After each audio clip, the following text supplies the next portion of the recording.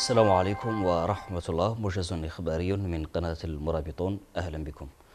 وحدت وزارة الشؤون الإسلامية والتعليم الأصلي الصلاة على وفيات فيروس كورونا في مسجد ابن عباس صباح كل يوم.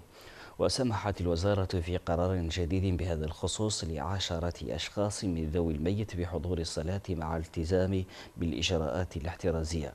وجددت الوزارة في بيان مشترك مع وزارتي الصحة والداخلية التزامها بقرارات هيئة العلماء حول التعزية والمناسبات الاجتماعية مشيرة إلى أن تكليفها للجنة من الهيئة بالحضور كل يوم إلى المسجد لأداء الصلاة والقيام بجميع ما أوجبه الشرع على حد تعبير البيان.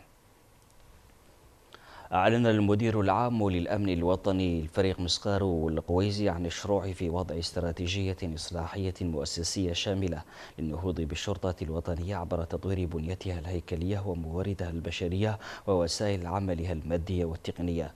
ودعا المدير العام للأمن كافة أفراد الشرطة الوطنية إلى الانخراط جميعا في الخطة الإصلاحية لتحقيق الأمن الشامل للوطن والمواطن طبقا للبرنامج الحكومي.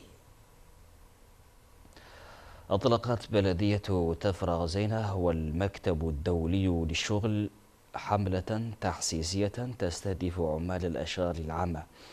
تستمر الحملة أسبوعا. وقال عمدة البلدية الطالب المحجوب إن البلدية كونت فرقا على عملية التحسيس ومواكبة الحملة وتم توزيع معقمات ومواد للتنظيف على المستهدفين بها.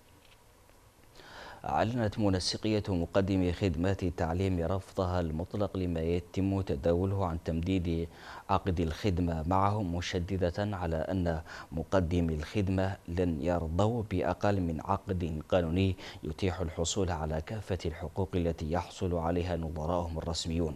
ودعت المنسقية وزارة التهذيب الوطني إلى الشروع فورا في الترسيم وفق خطة معلنة وواضحة ومحددة الآليات.